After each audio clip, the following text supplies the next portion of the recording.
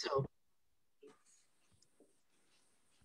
so thank you so much, Doctor, for staying with us because this was a fascinating, uh, fascinating topic. Uh, it looked so complicated, but you made it understandable to chemists. So thank you so much.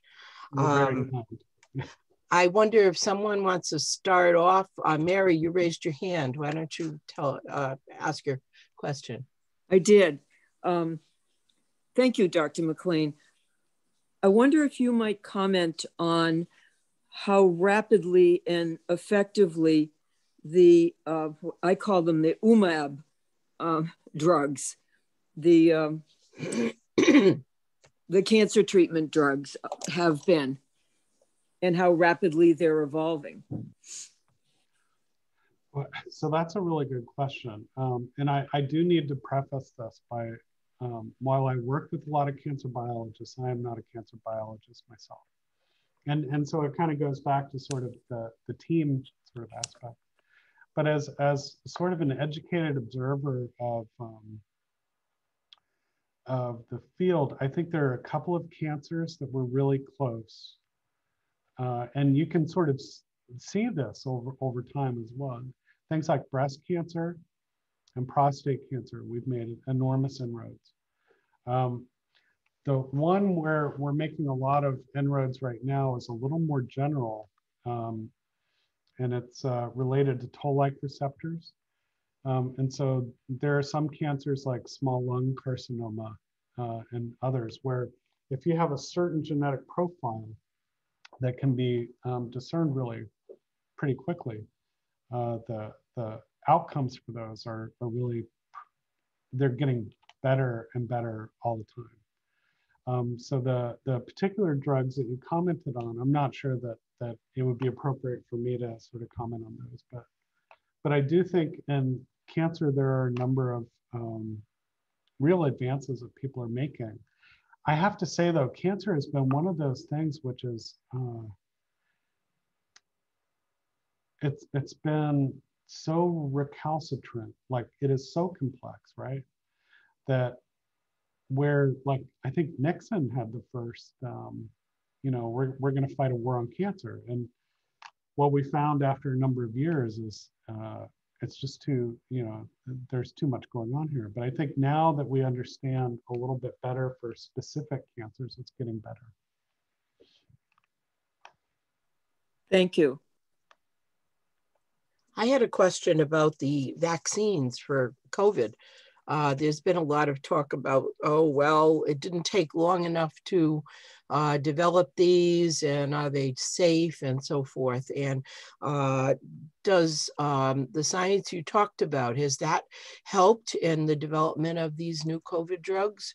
And um, you know, should it help in the, I, I assume it will help in the future when we're trying to make other vaccines. That's a really great question, Kathy. And and in fact, uh, we've been in, we've been heavily involved in different aspects of this. So we also collaborate very closely with Pfizer. Um, and so we've been working on uh, understanding some of the adjuvants in different different ways, right? Not necessarily for COVID, but for um, vaccines in general. And to kind of unpack a little bit of what you described too, I working with a lot of the clinical faculty and things. I, I, have to a lot of a lot of vaccine work was done at Vanderbilt. And Barney Frank, who is credited at the NIH, you know, trained at Vanderbilt and so forth. So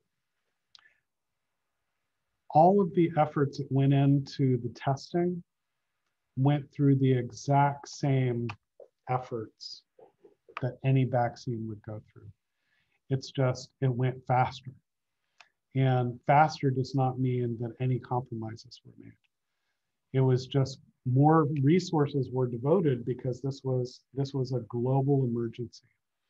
Um, and so, in fact, one of the the gentlemen here um, was instrumental in, in a lot of the the Moderna uh, vaccine too. And some of the treatment strategies, like the drugs that are being developed around corona right now. There's a lot of work at Vanderbilt too. So he had studied coronaviruses since the 1980s. And what's really interesting is, is he said, you know, every year I talk to my wife because I'm not sure if people are going to fund this anymore. And then all of a sudden he, he was with his wife at dinner and he gets a call like, uh, we'd like to chat with you because there's some things coming out of China we'd like to understand a little better, right? And all of a sudden it became really, really important. And so that fundamental aspect of science, I think, is key. Um, from just that story, right? There, they they really didn't know that Corona was going to be the one that jumped or anything. I think a lot of the vaccine hesitancy, though, does center around what you sort of described as the speed, because this is so unprecedented how quickly things went. I also think there's a lot of hesitancy because it's under the so-called uh, emergency youth use authorization, right? And that's because our processes aren't really set up that when we do have an emergency like this, that you know it will get regular approval or anything. But I but I think they need to do that just so that people feel more have more confidence that everything has been done.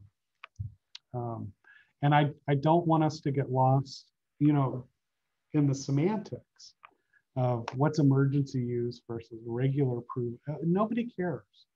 They want to know, like, is this is this safe for me, my family, and my friends? And uh, so I think that's where some of the I'm, I think I'm just sort of going rambling at this point, but but you you brought up some really interesting ideas that I know a lot of us have thought about. But I think there, there are a lot of um, ways that we're using these technologies for, um, for coronavirus and for others.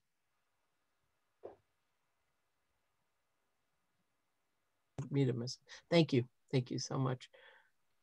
Are there any questions from our, uh, our group? Well, if, if, if, I could ask a question too.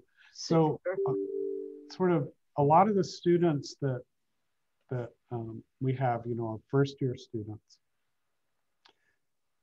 I'm I'm just kind of curious about where all of you sort of view the most important areas of chemistry and sort of education for preparing those students for the next steps of their kind of scientific journey.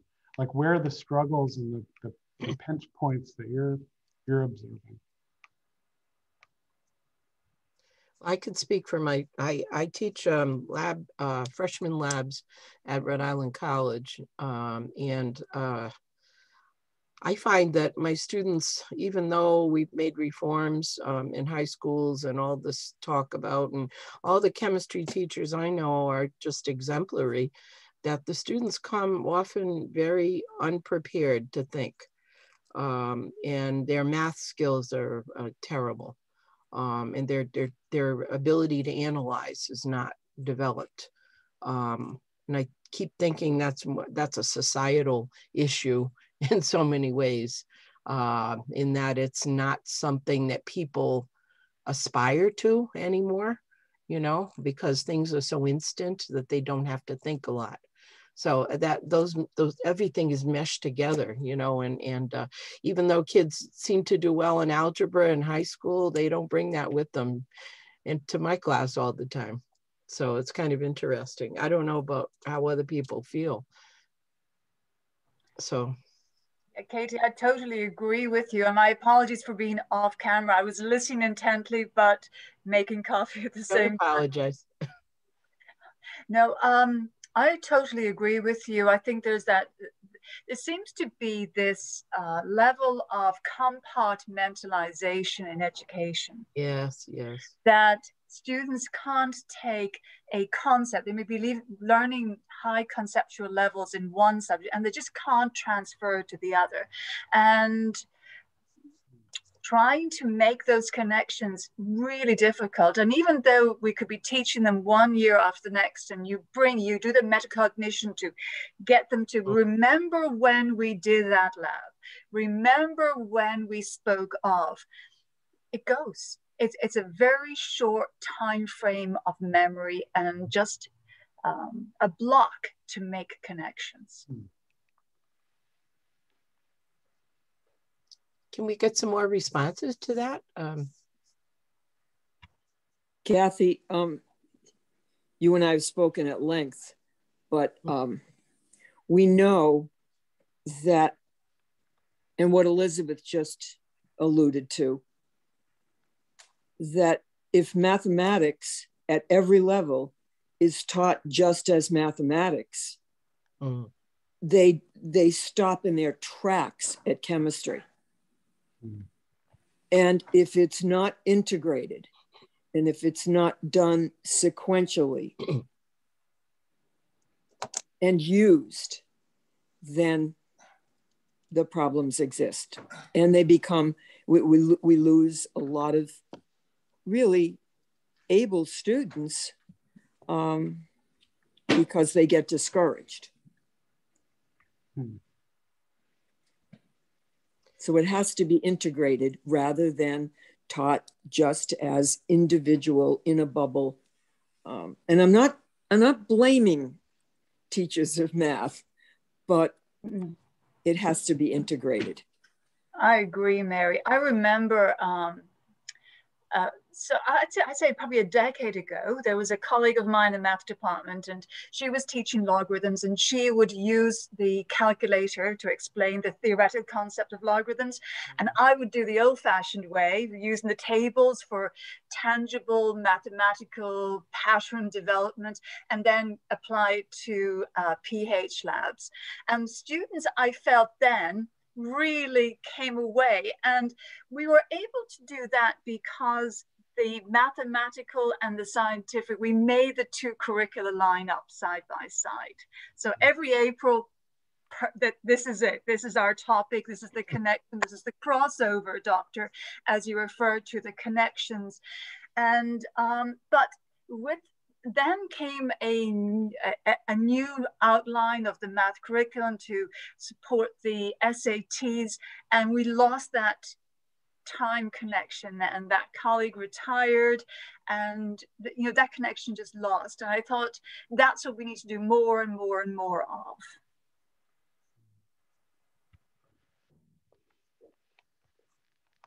And that goes uh, a lot of my students are bio majors um, and that's the other thing they'd much rather study biology and you know, when I was going to school, nobody made me study biology, which I really sad about at this point in time. I, and and yet uh, the chemistry is the first thing that they should be they should be under beginning to deal with and so to mix these two together to bring more biology that's uh, more biology into the chemistry uh, we do that for our uh, nursing students, but we don't do it for our, our chemistry students. And um, sometimes I wonder how they decide what to study as they go beyond that. Of course, I don't know what they're teaching in some of the bio courses. So, um, but I would wish for more on the college level, at least more integration of all of those things. And it seems like we are compartmentalizing still like we did in the whole factories rather than uh, beginning to to bring all these pieces together. Um, and and it's i don't know what it's going to take to make colleges teach differently. I i really don't and doctor i very much appreciate your use of the central science be that of chemistry when you mentioned that. But actually I, may i ask you a question dr mclean? Um, you know, you mentioned about the connections that um, your students have with industries around about to build the skills so that that partnership exists. And we, I teach high school and we've spoken of that and had some of those connections. Some of our alumni come back and, and um, build a more broader perspective to our students' thinking or trying to see what is out there. But from the perspective of a high school student, what skills would you like a really solid chemistry student to come into college with? If you were to bring it down to a few really solid skills. And I would say that I would probably, um, I'm in the latter years of my teaching, but I would have a very classical education behind me. And I bring that more to my classroom. So I try to cover all the primary topics and primary skill sets that I would want my students to have. But what do you think we should bring, we should develop in our students for you to take them to that next level? Boy, that's a really great question. Um, let me share a couple of really disjointed observations, and then I'll, I'll try to answer your question more directly. Oh, sure. So we have noticed that, um, uh, well, it's not just us, but you know, nationally there are a lot of disparities in sort of the educational preparation. And Vanderbilt um, sort of has a reputation as being a little elitist. But in fact, many of our students are first gen students. Um, and, and we also don't, don't discriminate based on financial means at all. In fact, we still have one of the pro, we're one of the only universities now where students will not leave with debt.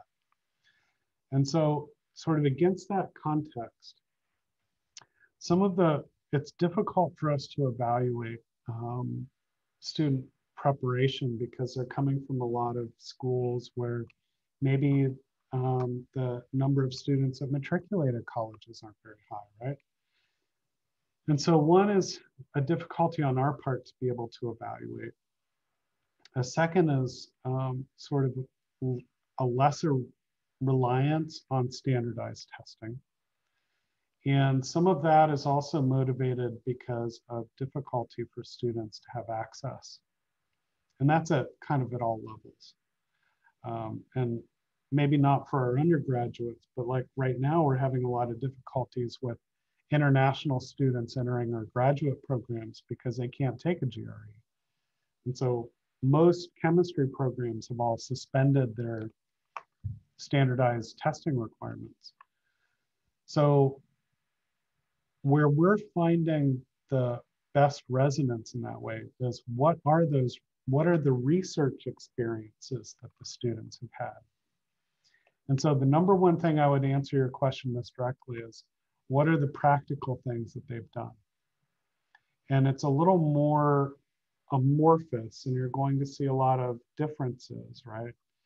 But um, what is and during after the in the Q and A, there were there was sort of like this: should students have a lot of lab practice? The more they have of that is the, in fact, the best. That is the best predictor we have of their preparation.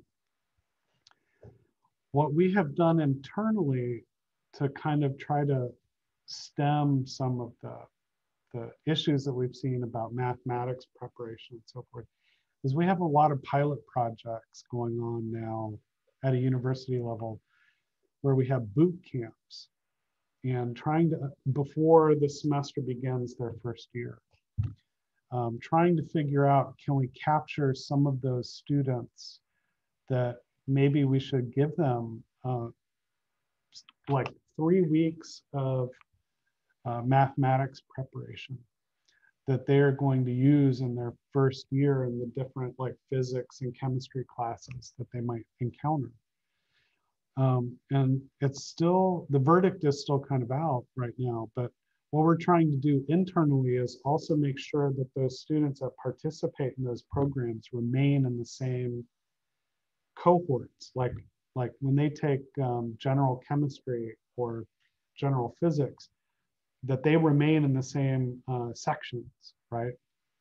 Because they're developing those relationships with the other students.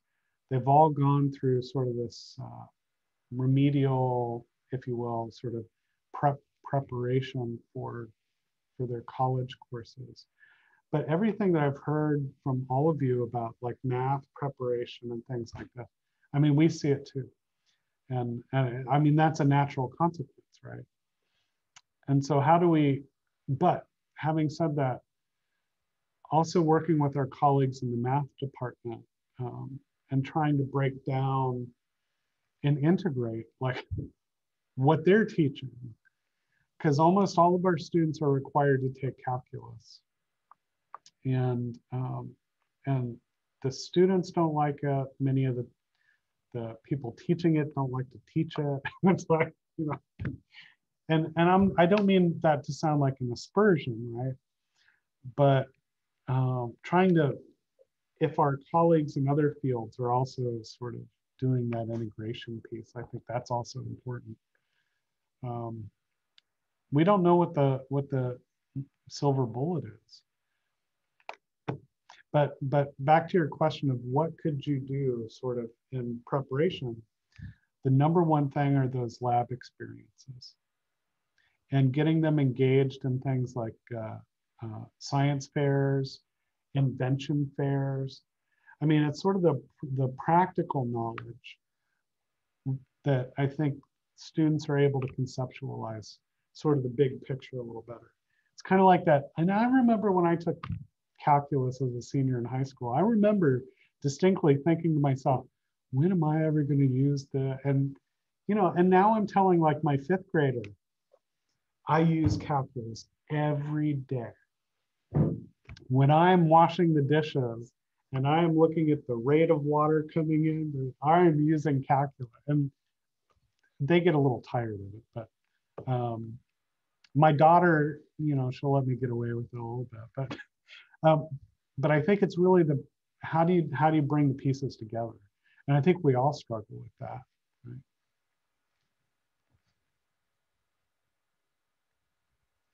No, thank you so much. Because sometimes I think that um,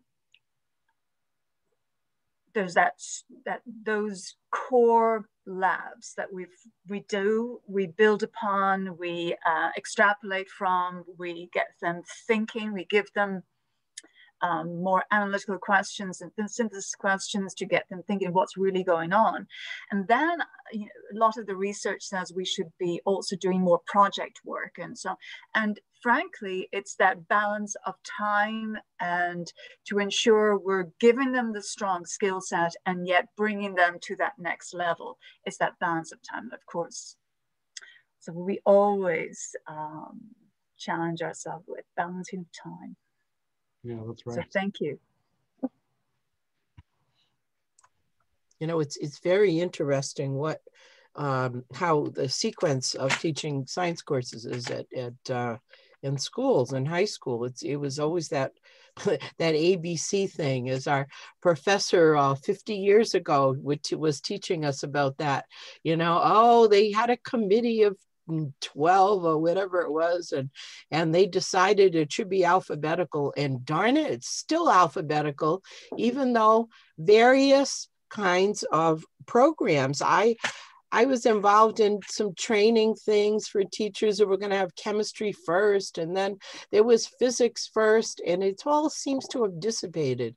Um, you know, things come in and out of out of favor, it appears, but always go back to that old traditional way of putting physics last. So a lot of kids never see how uh, the math or anything relates to that, uh, and that's very frustrating.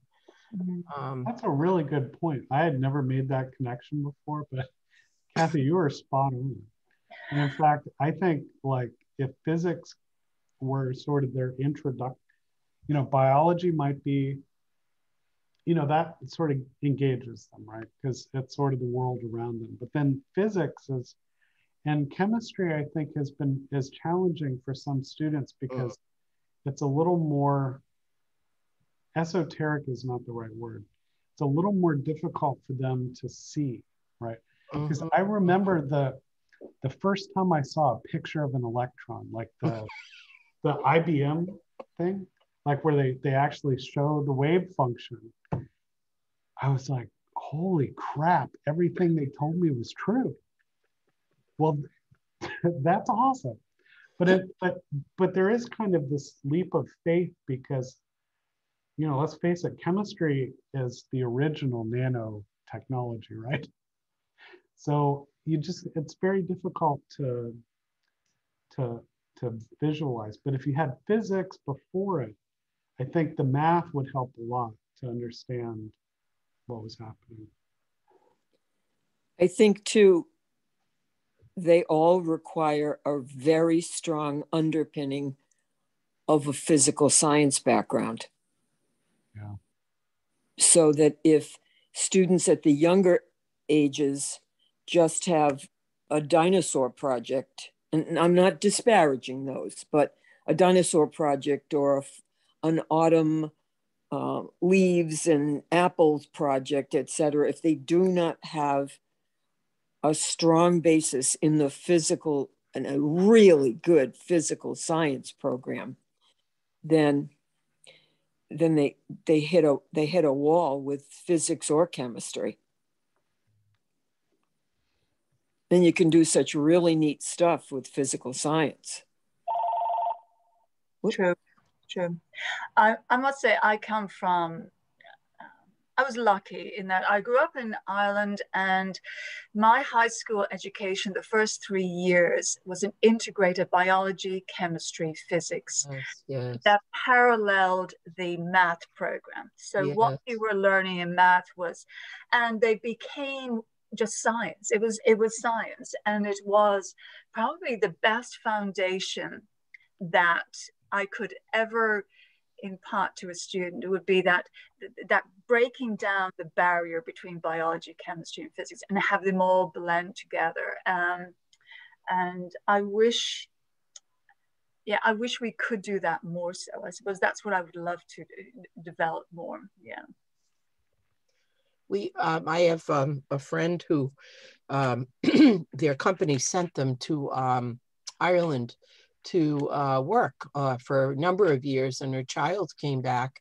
He was now in probably fourth grade, and she felt he was he was way more prepared than any of the kids in his fifth grade class or fourth grade class.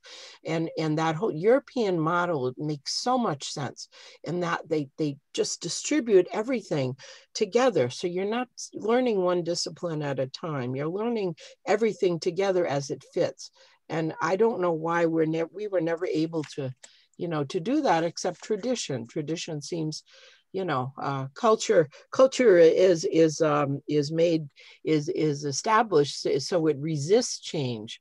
And that's the that's the sad thing about it. Uh, the good thing about it is that it resists change. So, uh, I mean, you know, it's funny. I taught in a situation where we were trying to change the way we taught in high school uh, when I was uh, when I was in teaching in high school, and uh, some of that is actually stuck and has been uh, integrated in so many different ways. But um, but it's interesting how culture, you know, can do that.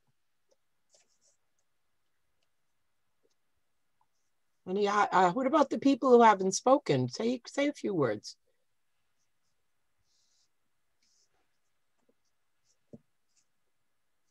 Okay, I'll say a few words. Okay. I think we're, our elementary education is in fact traveling in the opposite direction for what we have recommended. There's so much emphasis on reading and math nowadays that in many schools there is no hands-on science that Mhm. students will will they, one of the reading requirements is that they read nonfiction so they have them read science. And my daughter had a very good analogy. She said why don't we have the kids read exercise books instead of doing physical education? And that's pretty what's much what's happening in elementary school. They read about science but they don't do science.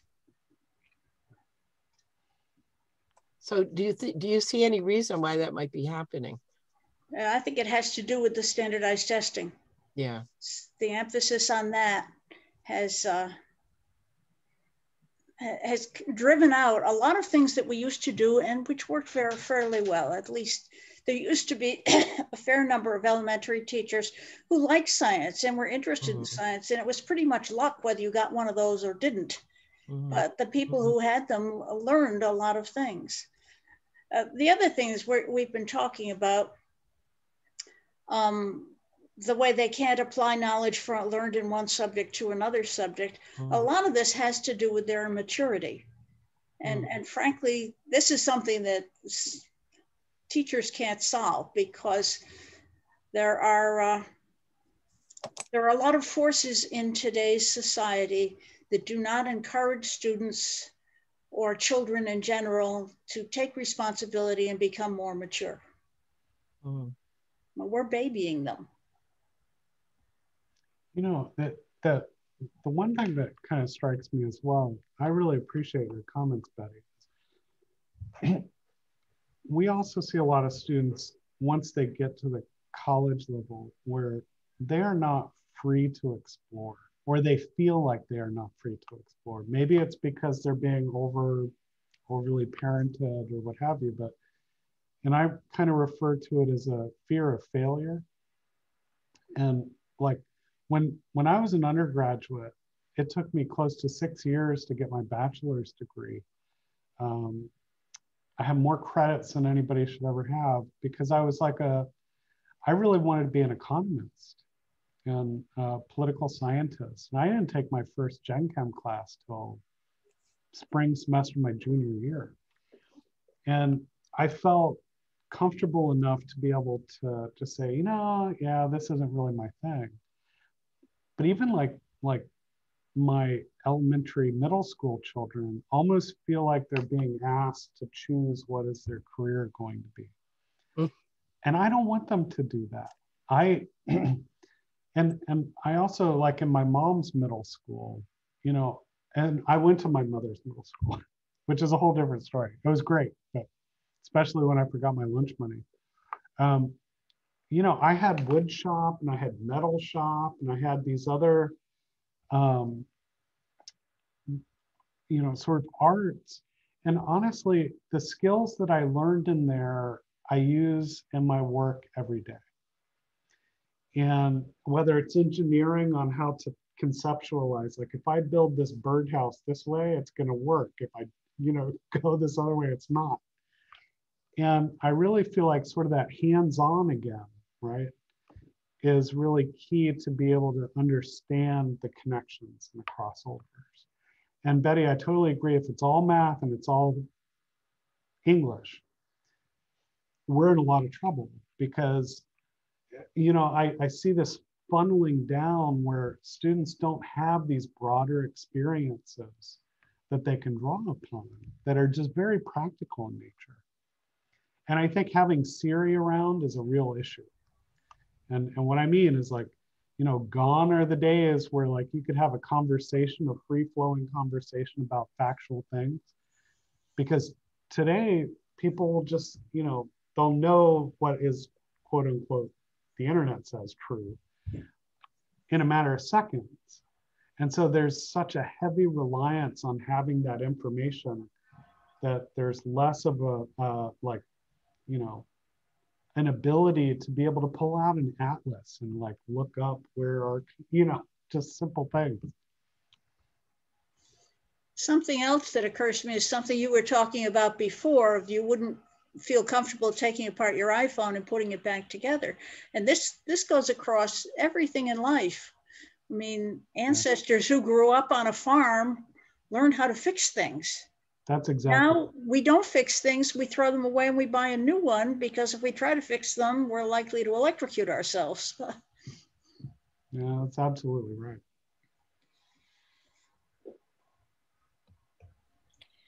Well, I want to say something uh, to Betty and to Dr. McLean. Um, this, I'll be starting 33 years teaching in the public school and high school in the town that I had grown up in and I'm teaching at the high school that I graduated from. Uh, but prior to the 13 years I've been there, I was at another high school in, this, in the same large district.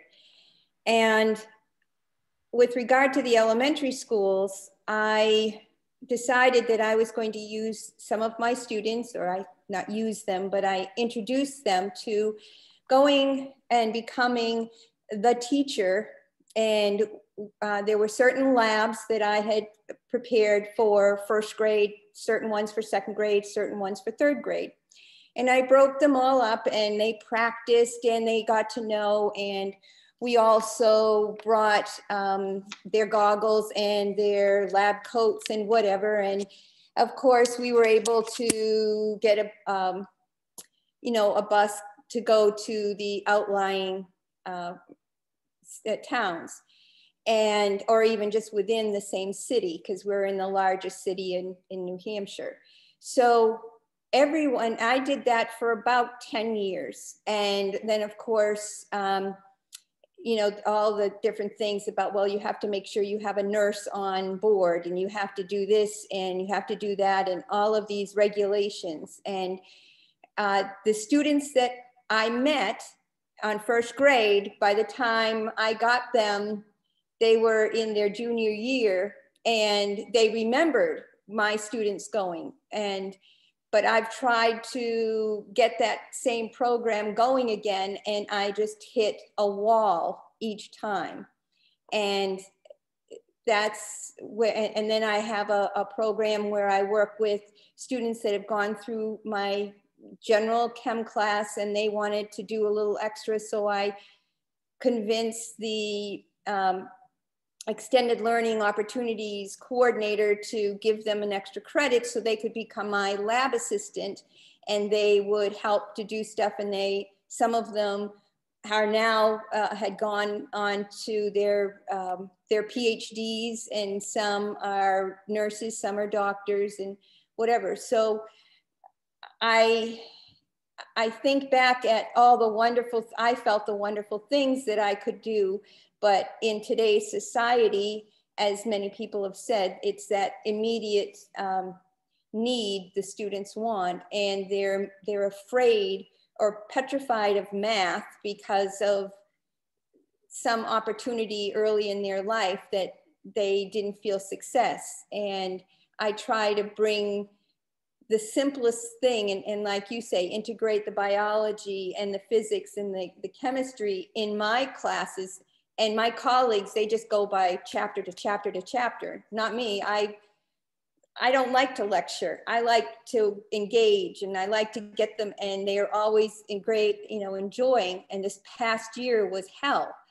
So i i don't know uh, how i could even develop what i used to do and bring it into today's society but i know it was a success and i wish i if I had any, if anybody could give me any ideas of how I could do that again, you know, maybe I could end my career in the next two to three years because I can't afford to retire. so, um, you know, give me some ideas. But, and, and I wanted to thank you again, Dr. McLean, that it was uh, so interesting and just to listen to see how everything is going in, um, in on the college level and in the research, it's, uh, it provides me some encouragement that there are good things happening. It's not always bad. Well, we're profoundly grateful to what all of you are doing, right? And and you know, it is a community.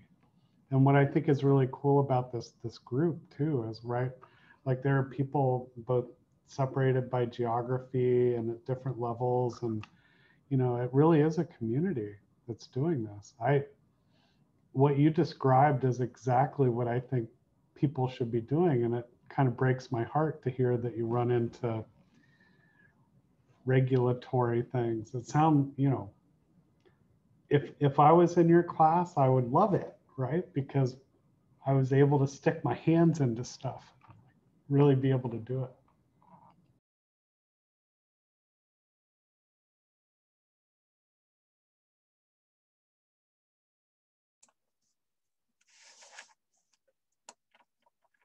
Um, it's interesting that you mentioned Dr. McLean about science fairs. Um, I'm involved in our local science fair in Rhode Island. We're a small state, so we have one we have one big science fair at the end after all the schools finish, and uh, some of the kids do some amazing stuff. But but the numbers have been uh, getting smaller and smaller over the, over the past few years.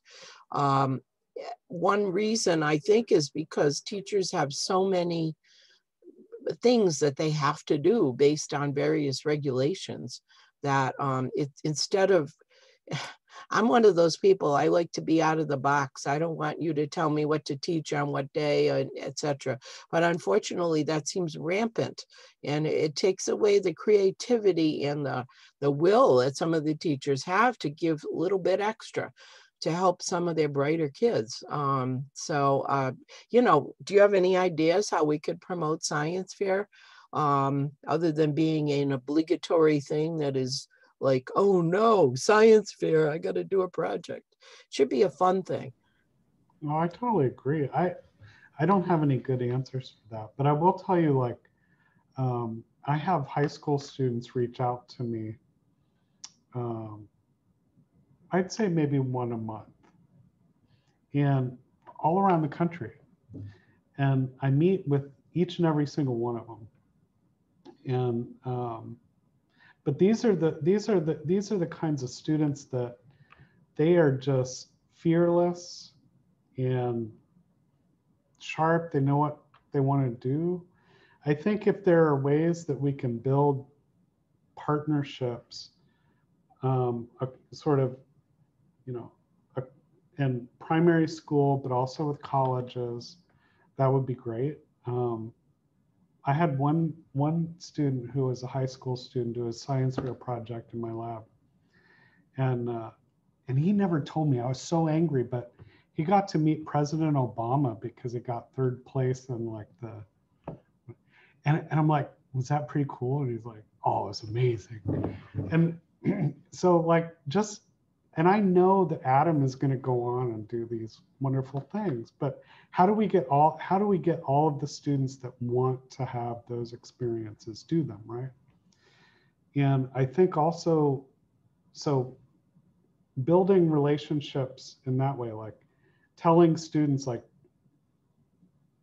do some research on the internet find a college or a university where someone's doing that something you're interested in and reach out i think between companies and schools like building those relationships so i know kristen had mentioned that her husband works at one of the companies that we work with quite a bit and that company in particular uh, for many years would build these little kits that they would send to schools um, to do chromatography, like in cartridges. So what they would do is they would, and I've used them for my kids' birthday parties, right? So it's like they'll, they'll give you a, a Kool-Aid packet and they teach you chromatography by taking purple Kool-Aid and separating out the different colors by the different molecules into different beakers. And the kids lo- uh, they love it and it's so cool to do. But i think if there are ways to engage public private partnerships uh, and i don't know how to you know there there are people that have thought through that a lot more than i have but but i do know a lot of companies would like to do that but how do you do the matchmaking right is uh, because the, the companies really want to engage the students as early as they can too. Um, but, and some of them just don't know how. And so I, I don't know if that's helpful or not. But.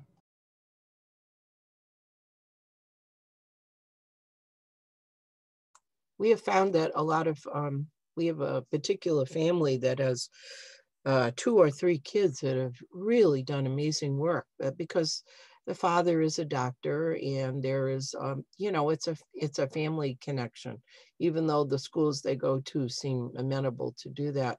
We also have had people whose schools would not sponsor them or what weren't doing it but they they managed to come anyway um, as a as a lone person um, and did very well as well so uh, it, it's an uphill battle. In general, people, you know, if you tell someone you're a chemistry teacher, they usually look at you in disbelief and like, why would you ever want to do that? That's horrible, you know, which is the attitude, you know, even even in the scouts. I mean, I wonder how much science the scouts do. Um, you know, anyway, so it's it's um, I don't know science just uh, seems to turn some people off, unfortunately. And we, I had a student say to me once, you know, do you guys talk about science at home? I said, yeah. She said, oh, must be really boring. My husband's an engineer and we do a lot of talk about science. We love to do things like that but um, you know just to mainstream a little bit of this would be would be so nice instead of having people resist it for some reason. Um, anyway we keep trying. So does anybody else go go ahead. Well i was just going to say i think one one way to help too is honestly it's groups like this and that is bringing together sort of like-minded individuals in different places, right? And that's how you networking is how you form connections. Yeah. And uh, and it's a lot of work. And uh, sometimes it really pays off, but you can never predict where where it's going to really people are going to resonate or make connections in different ways. I, I did not, I was unaware of this group until a few months ago, and uh, I think it's really cool. Um, so I, you know, yeah, I think being able to foster relationships like this, I think, is one of those ways. But it's messy and it takes time and.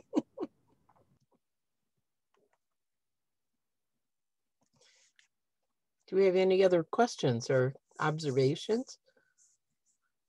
We have plenty of time. Maybe just one observation, yeah. and I'll apologize. I have to leave it. Um, it's interesting, you know, chemists. Uh, we want our students to experiment, and experiment is like uh, Dr. Wynn, you mentioned in your lecture about um, a colleague in Virginia whose child was outside, eighth grader. Yep, and we want them to just to go out and enjoy and experiment and, and investigate what's all around about them and yet and Judith, you were saying the constraints within schools. You're in boxes. You have to have the nurse. You have to have this. You have to test for their allergies. That society is boxing us in more so, and we want them to go out and experiment even more. So there's this this push me, pull you that seems to be constantly in motion. And maybe that's the stressor on society we need. How do we overcome it? I don't know, but we'll keep at it.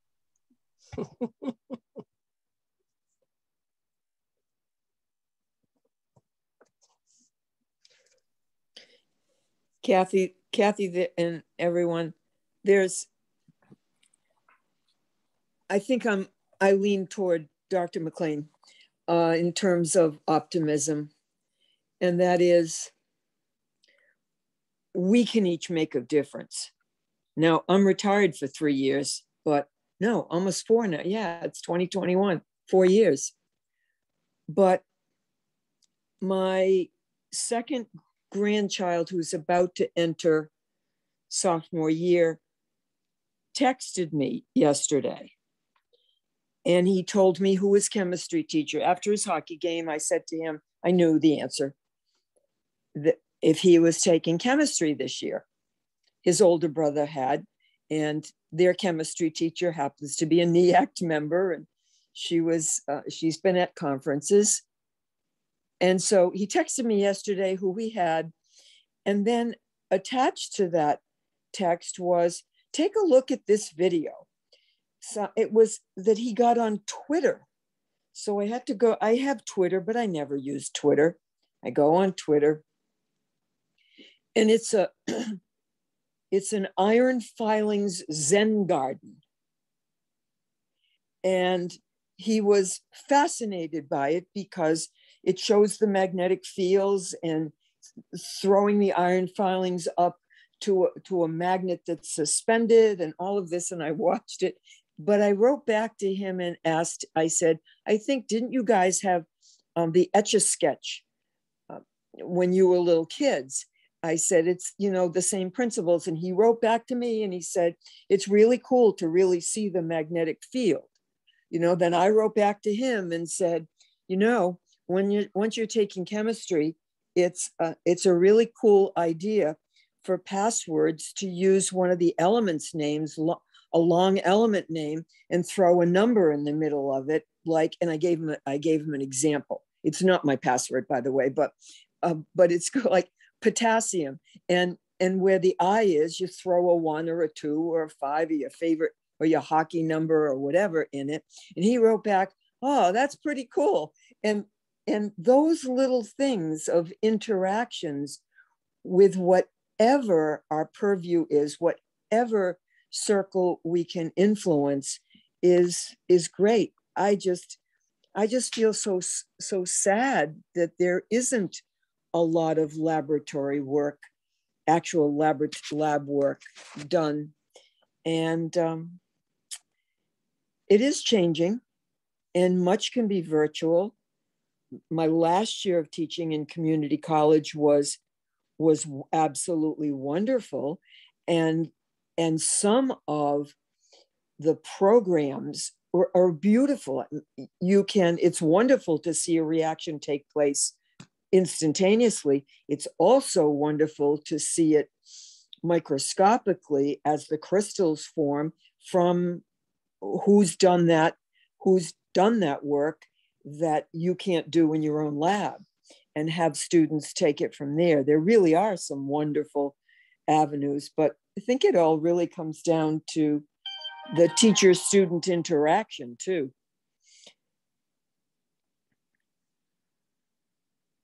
Um, Mary, I agree. I mean, we're not, I don't think anyone here is discouraged. I think we're all just keep working. You know that, you know, we all, we're all keep, keep going. And, and it's like, you know, I'm excited about doing it. And therefore that excites some people.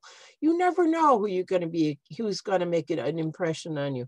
I was, when I was teaching in, uh, when I first started teaching in high school, somebody, um, somebody asked they asked me a question they asked one of the teachers a question and i remember her her saying that something like oh you need some elbow grease to go do that. And so and so the girl came to me and she said do you have any elbow grease? You know it was like and you know i met her later in life and she remembered that. For some reason it was just really cool you know just just plain old practical stuff and that's we have to be models. I, I feel we're mentors and models and that's what we're always going to be and if we just keep doing that we can make a little difference in the world and maybe a little ripple you know? It's like we're uh you know we're some kind of uh, advocates all the time. You know, that's what we do. We just keep pushing certain things. I have a question for Dr. McLean. Um, it's about how did how did students learn about things such as we were discussing the phenomics um, eh, you know because that's a fairly new area and how do how do students you know begin to begin to say i want to do that that's just so new i never heard of it before kind of thing and and you know, how, how does that happen? Because the kids I had in chemistry don't have a clue about any of that, I'm sure. Boy, Kathy, I wish I knew the answer to that. Um, you know, and I, the other thing based, you know, to kind of dovetail with uh, your comments and Mary's comments too, is like one of my wife is a forensic psychologist. And oh, so wow. she, she um, goes to prisons and jails and does competencies, you know. And so she sees sort of the dark. but one thing that we both really have always appreciated, and I'm sure everyone on this call does, it doesn't matter what somebody does, like what their profession is. They could be like um, a park ranger, or you know, they could clean the the waste bins at the park or something. But as long as they enjoy what they're doing and they're passionate them. God love them, right? And so, like, just remaining kind of happy about what you do, I think is is at least for me half the battle. Um, getting students sort of engaged in in understanding some of these topics. I I think asking the students where they learn, like what do they do? Like Mary was mentioning the video with the iron filings, right? And so like my 10 and 11 year old um, love pulling up science videos from YouTube. And there are like these interesting, for lack of a, and I'm kind of using terms that I really is way beyond my my knowledge base, but there are these like science influencers oh.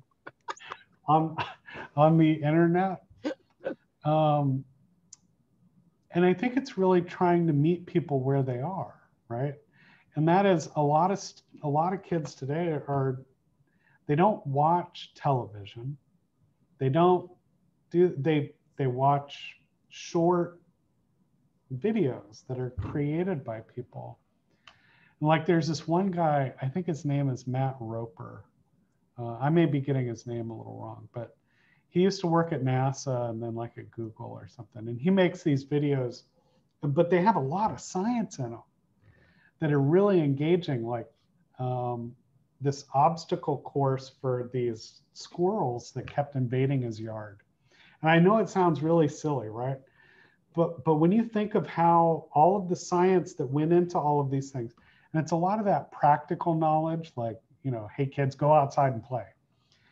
And they're learning about those things from these videos.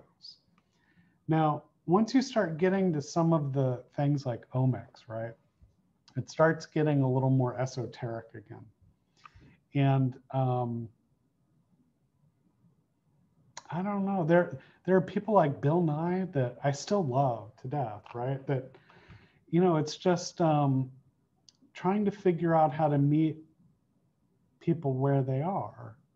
And some, and if they're in grade school and things, they, they can get their mind around certain concepts, but they haven't been introduced to others, right? I think for students that might be in high school, they're already into searching stuff and kind of getting, they're finding avenues to get that kind of information. Um, but I think it's mostly through like communication. And you know being able to communicate our science is i always think of science as being like sort of three pillars like when we're doing research right?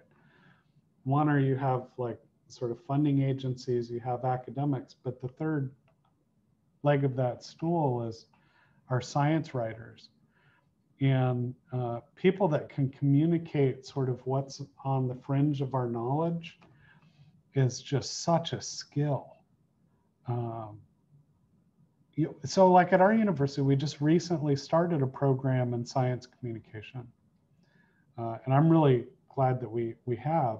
Um, you know, these are really sharp students, but what they're, they're figuring out is there was a point in my talk too where I, I was about to use a word and I stopped myself uh, and used a different word specifically because that's a whole different science and how to talk, right? And like I was going to use like uh, drug efficacy. I'm like, no, that's not the right word to use right now, right? And so it was like uh, how how effective a drug would be. And so it's kind of like, how do you demystify stuff by trying to get the jargon out? Because it, it really doesn't belong there in the first place. Um, I don't know if any of what I just said is helpful, but it's like, you know, it, if we can support some of these individuals that are communicating regularly with um, with children that are or kids that are like the right age, then we should do more of that. Maybe we should do like maybe you know NEACT could have their own youtube channel and they could you, you know what i mean? Like um, people could do their favorite experiments and uh, and these things catch on like my kids really love the gummy bear when you take the chromium and you light them on fire and like you know stuff like just really cool experiments um, really get like that's what excited me. I don't know. I also oh. made a lot of mistakes.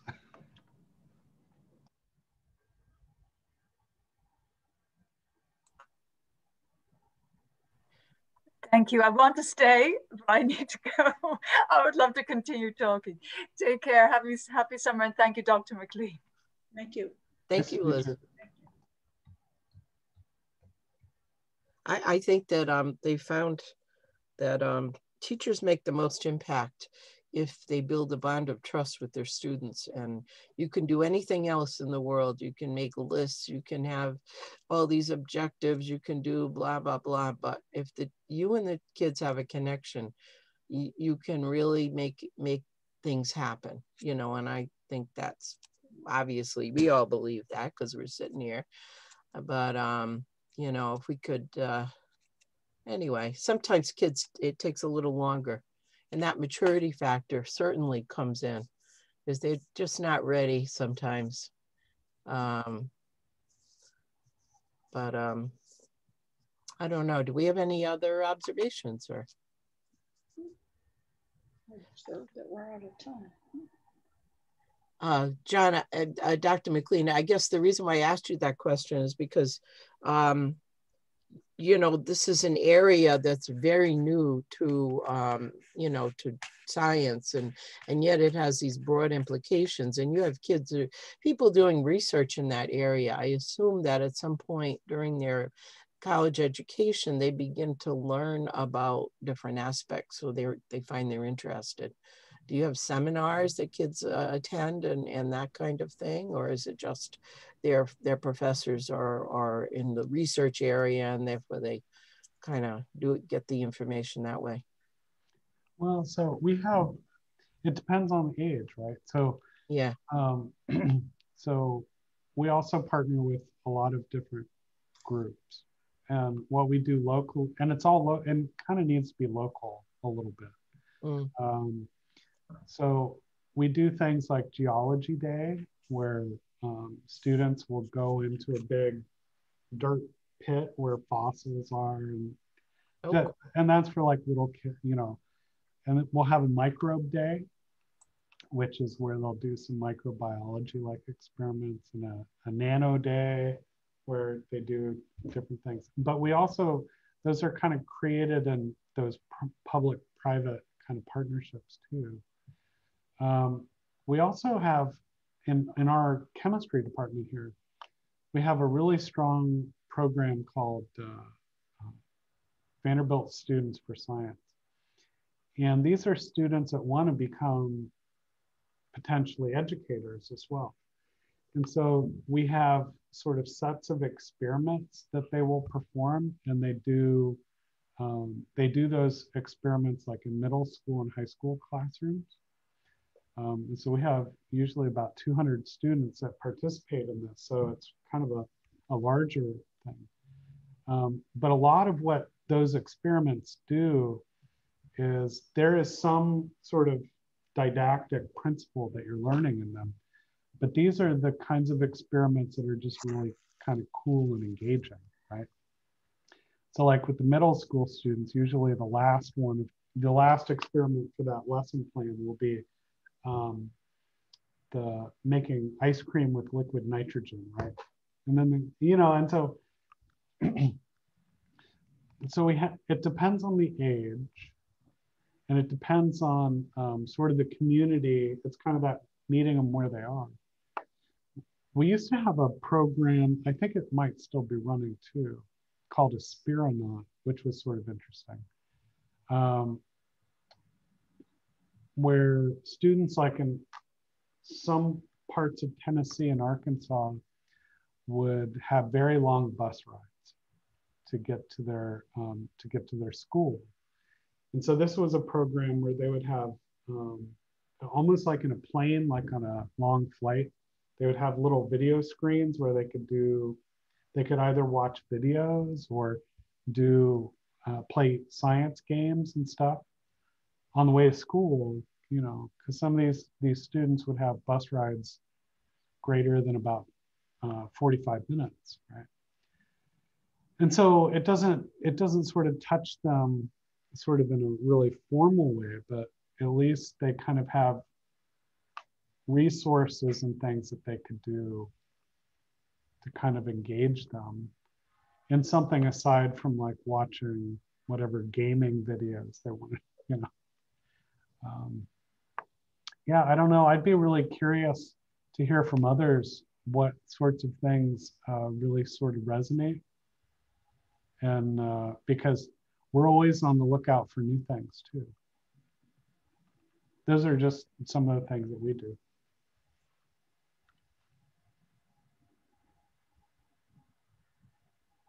Um, I know at Rhode Island College, we we host a uh, science Olympiad every year. Um, and kids from all over the state come and they compete in the all variety of things. Science Olympiad is made up so that it's not just the best students who come. They have to have a variety of kids on their team, and they each uh, sometimes they specialize in a certain area. And what they do is they'll you know, go to certain competitions. They have different, different related things. Uh, and and it's it's really kind of fun. They get people from all over the state to come and be judges and run different events. And uh, you know, we did the egg drop for many years. Oh my God, what a mess! Anyway.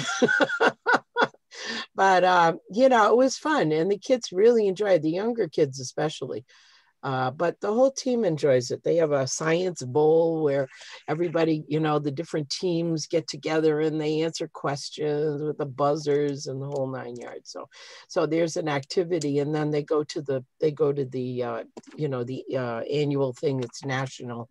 Uh, they don't always they they don't win, but they have fun going to that. So, if uh, colleges were to sponsor uh, events that are national type events that brings out a bunch of kids, especially in the younger grades. They they love to do that.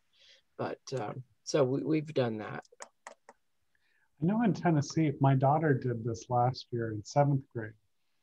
Um, they had like a, and this was this was a program. I don't know if it's national or not, but I really liked it. It was like uh, uh, it was called Invention Convention. Okay. And uh, and Mary's nodding her head. Maybe maybe you're familiar with this. I thought it was really cool. So the the students would have to think of a new idea, like invent something.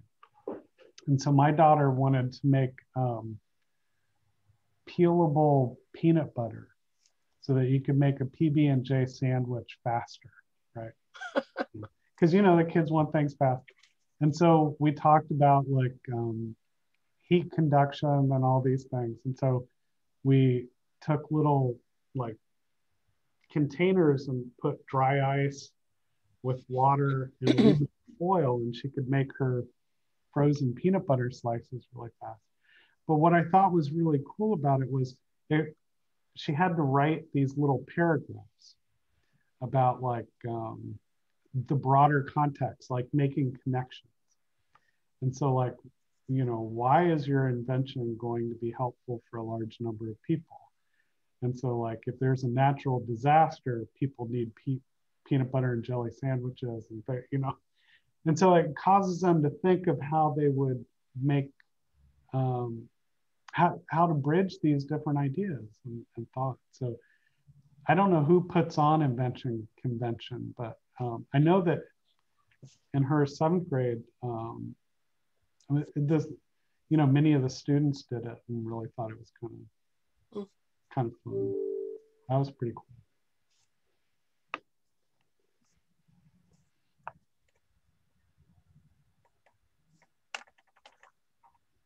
Do we have any any other thoughts? Well, I really appreciate meeting everyone, and uh, and I hope the rest of your conference goes really well. This is a really fantastic group. Thank you. We're so lucky to have you speak to us. It was very interesting. Well, that's overly uh, kind, Kathy, but thank you. I, no, I, no, but sure, but it's so much fun to talk to you. Oh, good. You know, well, and I and, and I've I've really learned from some of the things that were shared here too, um, and so I'm really excited to to disseminate some of that with some of the people that I work with as well. I already took a screenshot of your um, bacterial culture of the unwashed hand and sent it to my two daughters-in-law and and the grandsons. already got some answers back. Like, whoa. well, you know what was really cool is over the last year when the students couldn't go into classrooms, right?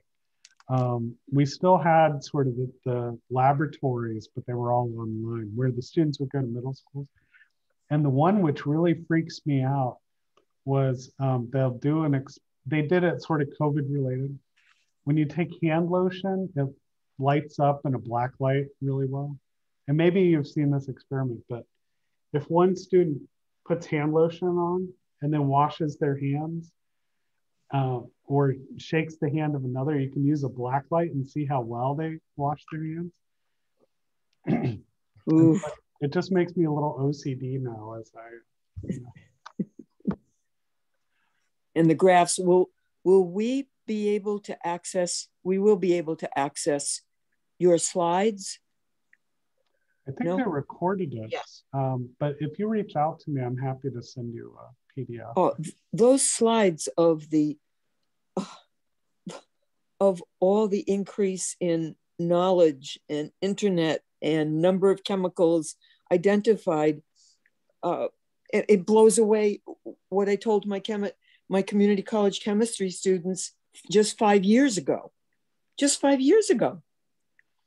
The the numbers. Uh, uh, Well, ed- ed- education is such an interesting thing. We need to make critical thinkers because we don't know what they're going to need to know. For sure. Actually, all the materials for this conference are on the Google Drive. Um, and that will that appears in the clickable program, if I'm not mistaken. Okay. Okay. Thank you. Yeah. So Thank we don't we don't need any paper or any worry about that. Um, Okay. Okay. Um, well, uh, if you if we are finished here, I don't see why we can't go and have an early lunch. Um, but um, Donna, do you have any anything to add? I, I want to apologize because my daughter was home from England and, you know, I had to make a decision attend the conference or talk with my daughter who stopped in and then had to go. So, you know, I'm really sorry not to be more engaged, but I, I didn't want to miss out. So she just left and here I am and it's the end. No So think- apology. no, you made the right I'm- decision. you have one something you want to talk about? Just talk. Uh, well, I'm a high school chemistry teacher. Um, I also teach biology. Um, I will be going back and looking at your materials. Um, you know, and I just listened for a bit about the hand washing.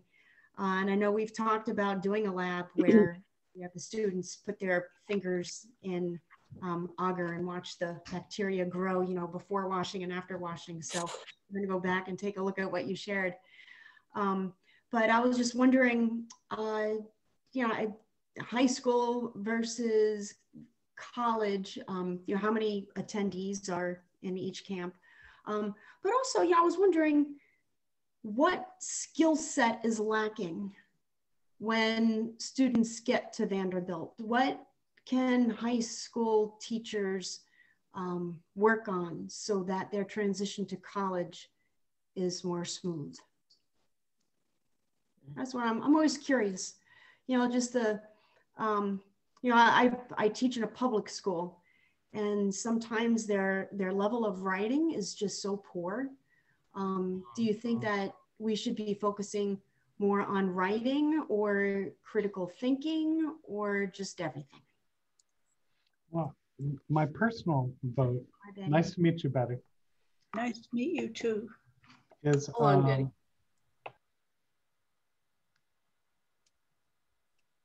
Oh, I'm sorry. My my screen shifted. I can be a little like a goldfish. We're here. We're here. Um, It's still here. So the critical thinking, I think, is key. I think it's sort of the practical experiences that we're finding being most helpful. Math skills are poorer than um, what is going to be really helpful. But here, here's sort of an attitude shift. And I don't, and we didn't talk about this earlier, was, um, well, sort of related as sort of this fear of failure. And we have these students that will take like uh, AP classes and want to place into higher level classes. And oftentimes we won't allow it. Um, and we won't allow it simply because their, their, their fundamental base may be strong, but just if it's slightly shifted from where the next courses are, then, then they may not be as successful in the next class that they take. Um, there were a lot of challenges with the AP tests this year, um, which I'm sure you're aware. Mhm. I, I don't think like uh, kinetics and things were covered. And so we had to make a decision whether or not to allow those, and I don't think we are. Um, and so it's it's really sort of the the critical thinking, making connections, and and I shared with the group that we're also starting some boot camps in the summer to sort of reinforce their mathematics skills. Mm-hmm. Um, but it's really how do you any way that you can do things like flipped classrooms where they're working in teams. Um, I think that's really helpful. Mm-hmm. Um, because a lot of the college courses now, what we're trying to do is move move in those directions. And so they'll have sort of an experience with that. Sort of that near peer mentorship, I think, is also what we're trying to reinforce a lot. Ooh, good one. Um, so I also wanted to know what you think about NGSS um, with high schools focus, you know, taking a more narrow scope but going deeper. How is that integrating with where they're landing in college? So I'm not sure I'm familiar with NGSS.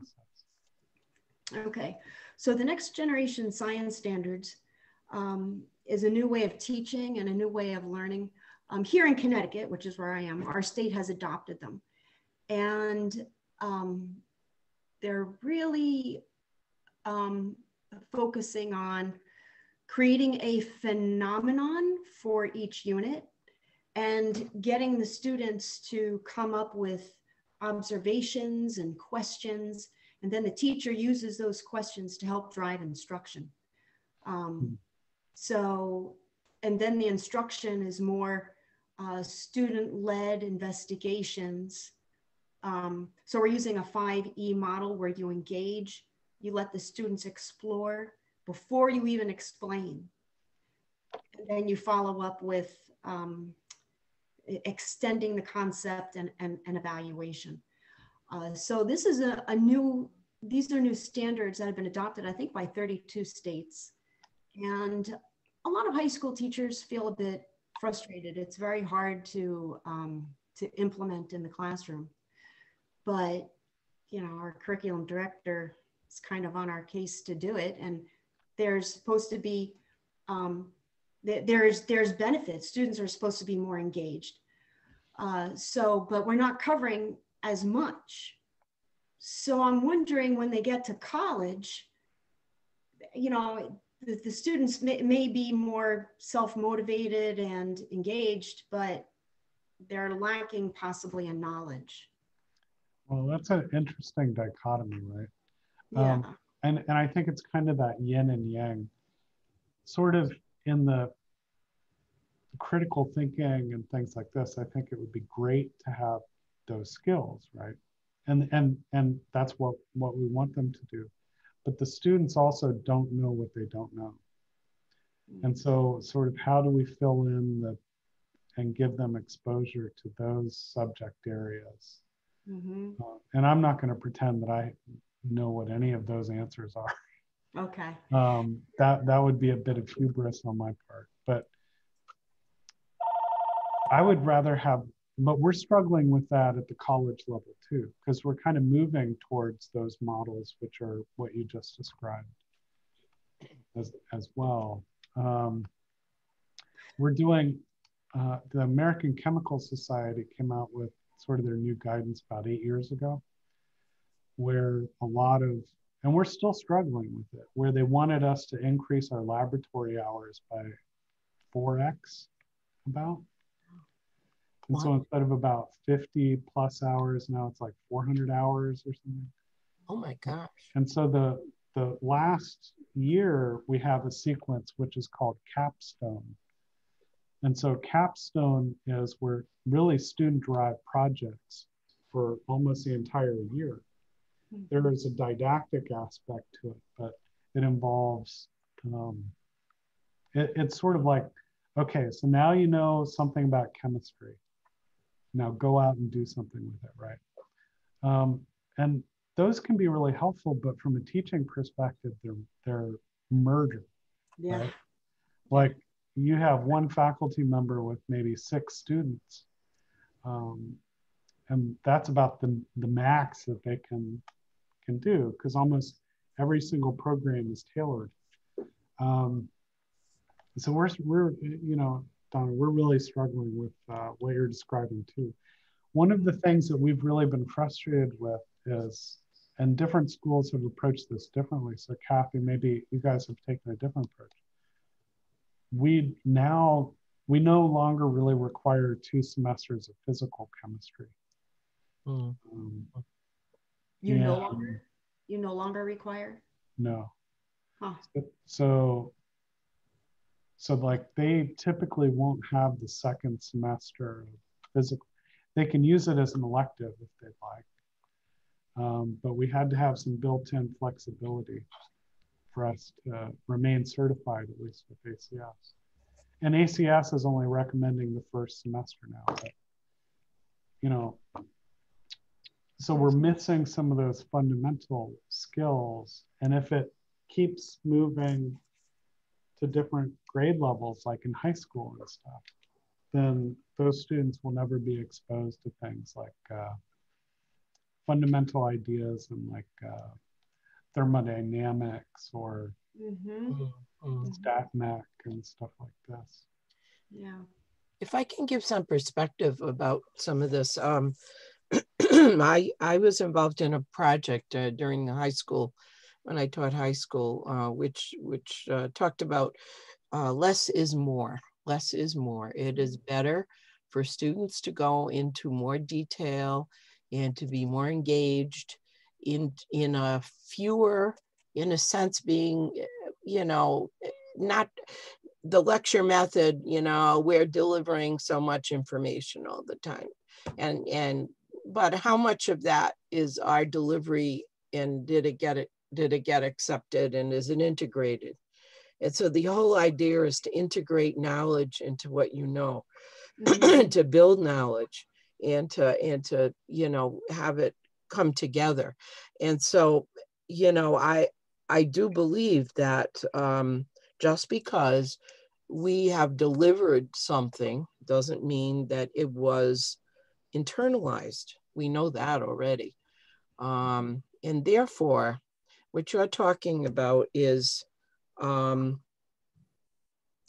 is that sometimes it's it's okay to have a little bit. It's okay to reduce the amount that we think we are giving to the kids because they. are- It sounds like your your NGSS is doing more in terms of integrating, making them integrate what they have learned into something where they can they can retain it and use it Yes. okay you know and and as far as any other thing i mean like i said i i get a lot of information pinged at me constantly but i only can integrate so much of it.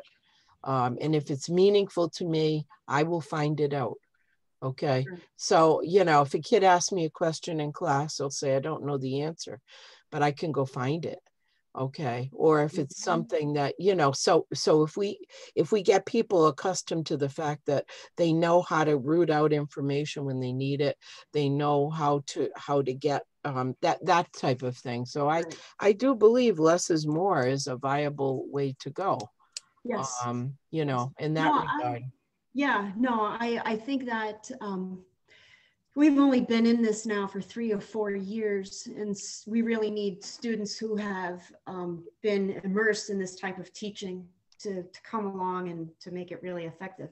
But they call it the 3D approach, um, where you are teaching cross-cutting concepts yes such as um, energy and form and function, yeah uh, concepts that cut across all disciplines.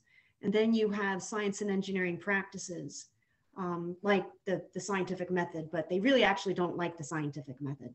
Um, they rather you make observations and come up with questions, and it's it's similar, but um, you know. Then you have the disciplinary core ideas, um, but they really want you to bring in the science and engineering practices along with the cross-cutting concepts, because the disciplinary core ideas they can look up you know and so it's more about the process of science which they can carry forward with them if they're going to become scientists but they're also skills they're they're looking for trans translational skills you can translate your knowledge and practices into other areas you know it's so it's more skill based and not necessarily knowledge based i was just Well- wondering you know with with less what what are you expecting on the college end you know, uh, who's looking at that transition from high school to college? How is it working out on your end? I was just kind of curious. You know, it's, you know, you you may not know, but it's just something I've been wondering about. Well, Kathy, what what are you seeing? Well, I, you know, again, I don't supposedly people have been using standards and using various things where it doesn't so much depend on the the knowledge but the skill and i don't see a lot of it coming to me um, there are i don't get the best students we were a working class community um, and i feel it's up to us to to help them integrate new ideas into what they already know. And I, I treat them like high school students when I they're they're freshmen. They are high school. Uh, mm-hmm. you know, over the years, it feels like um, kids have become to come to college a little less prepared every year. I used to have freshmen in high school that knew more than some of the people I think are seniors. Um, I don't know why. Um, maybe there was a more serious bent in terms of valuing and a good education and valuing uh, getting to a certain place in your life. Now, that's why I say I, I don't know if these new methods make any difference, but um, yeah. I do know if you try something new, you have to get people, give people a chance to become acclimated to that way of learning. Otherwise, um, it won't work. So you need at least three years and maybe more for there to be some kind of internalization of that process, you know? Yeah. So I don't know, it's my two cents. yeah, well, and then they're learning by doing. But then when you have students who are absent for wow. a few classes, um, I feel incredible stress to bring them up to speed myself.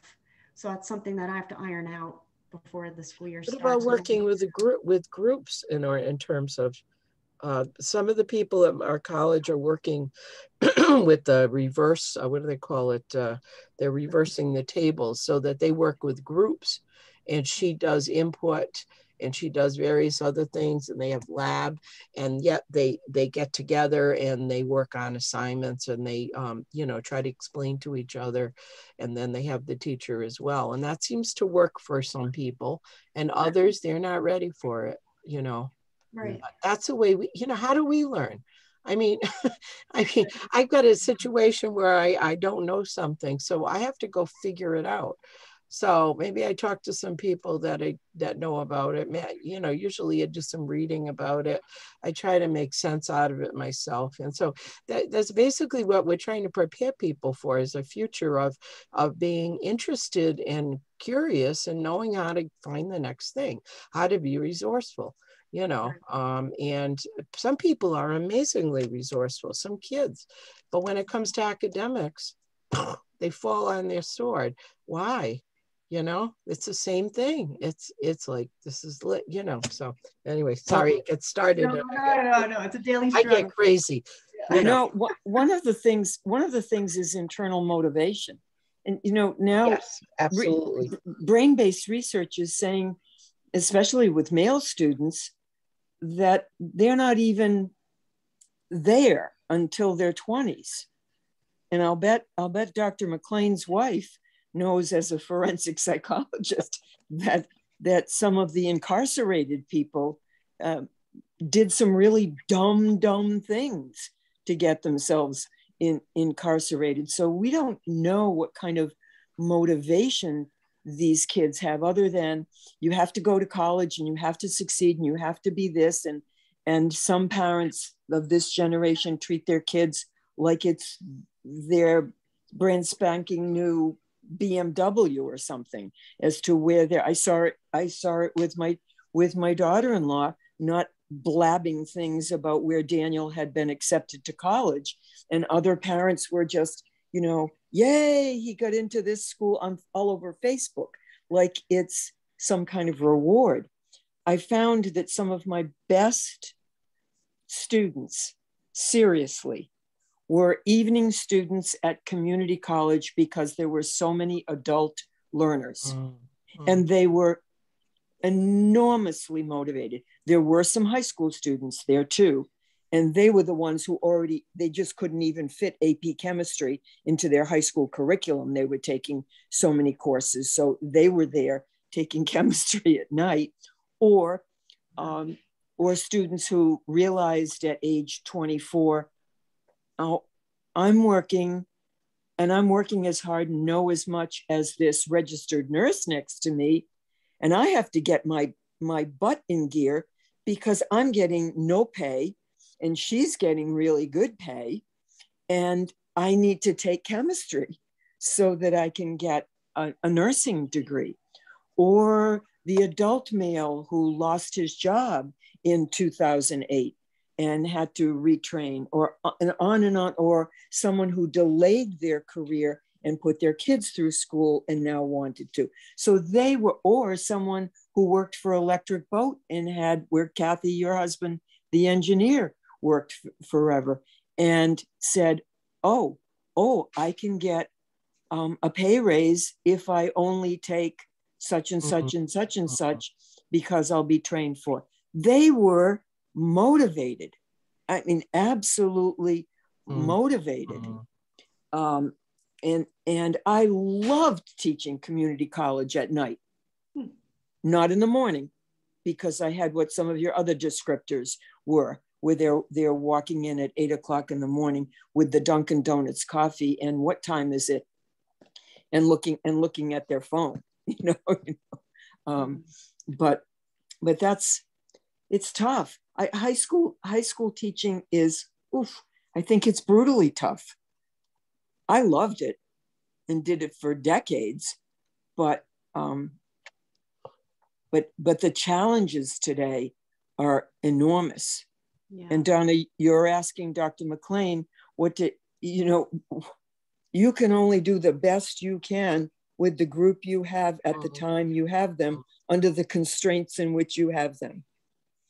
And certain things we just can't overcome just ourselves. We can't overcome grinding poverty at, at home or the student who's absent because they have to go take care of younger kids because mom has to go appear you know mom has to go appear in court for for something mm-hmm. um it's yeah with kids being remote a lot of them were home taking care of younger siblings yes yes mm. yeah so I was just, you know, when so they came up with these next generation science standards, and I was just wondering, well, has anyone communicated this to the college professors? You know, how are things going to change?